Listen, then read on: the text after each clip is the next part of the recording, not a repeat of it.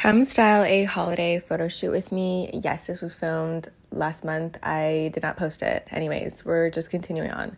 Um, so I went to work, and as soon as I got there, I packed up all the looks, made sure everything was organized and there, and then we went in our Uber to the photo studio. And once I got there, I unpacked everything, steamed a little bit, unpacked all the shoes, and then we took a look around the space to figure out where we wanted to shoot each look. Um, this day I was still super sick, and it really was a blur because I was on a lot of cold meds and basically sleeping whenever I was not doing something. But I think the looks turned out okay, and you know, I made it through. That's all that matters. And I have this recording to remember it with. But that's all. Goodbye.